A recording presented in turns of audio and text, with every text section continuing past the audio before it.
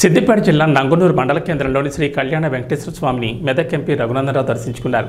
నేటి నుంచి వెంకటేశ్వర స్వామి బ్రహ్మోత్సవాలు ప్రారంభమైన నేపథ్యంలో ఆలయ నిర్వాహకుడు మంకు రాధాకిషన్రావు పిలుపు మేరకు స్వామివారిని రఘునందనరావు సతీ సమేతంగా దర్శించుకున్నారు. అనంతరం మీడియాతో మాట్లాడుతూ కాంగ్రెస్ ప్రభుత్వం ఎన్నికల సందర్భంలో హామీ ఇచ్చి ఇప్పుడు అనేక షరతులు విధించి దాదాపు యాభై శాతం రైతులకు మాత్రమే రుణమాఫీ జరిగిందని అన్నారు.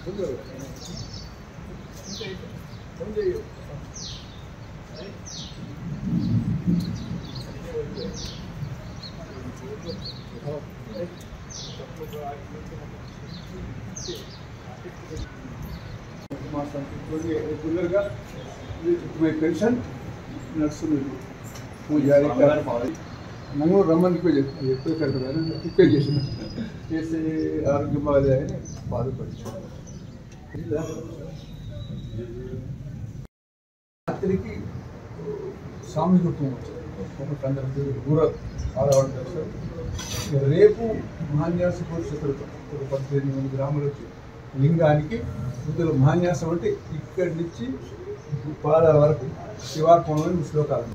వెంకటేశ్వర సదా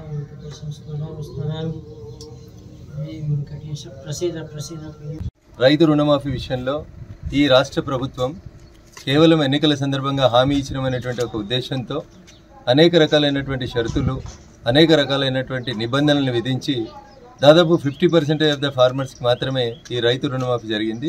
మిగతా వాళ్ళంతా అనేక రకాలైనటువంటి ఇబ్బందులు పడుతూ ఉన్నాయి.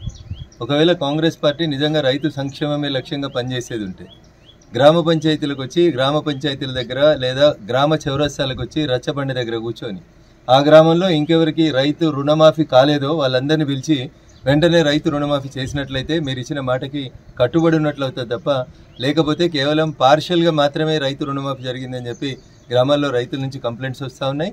గొప్పలు చెప్పుకోవడం కంటే ముందు దయచేసి మీ మీ పార్టీల నాయకుల్ని లేదా అధికారులందరినీ కూడా గ్రామాల్లో ఉన్న రచ్చబండ దగ్గరికి పంచి పంపించి అందరికీ రైతు రుణమాఫీ చేయాలని కాంగ్రెస్ ప్రభుత్వాన్ని ఈ సందర్భంగా డిమాండ్ చేస్తూ ఉన్నాం. ఎద్దేడిచిన వ్యవసాయం రైతు ఏడిచిన రాజ్యం బాగుపడదు రేవంత్ రెడ్డి గారు. మీకు వ్యవసాయం గురించి తెలుసో తెలియదో నాకు తెలియదు కానీ ఎన్నికల సందర్భంగా మీరు ఇచ్చిన మాట ప్రకారం సోనియమ్మ పుట్టినరోజు ఇచ్చినాం. ఖచ్చితంగా కంప్లీట్ చేస్తామని చెప్తున్నటువంటి మీరు.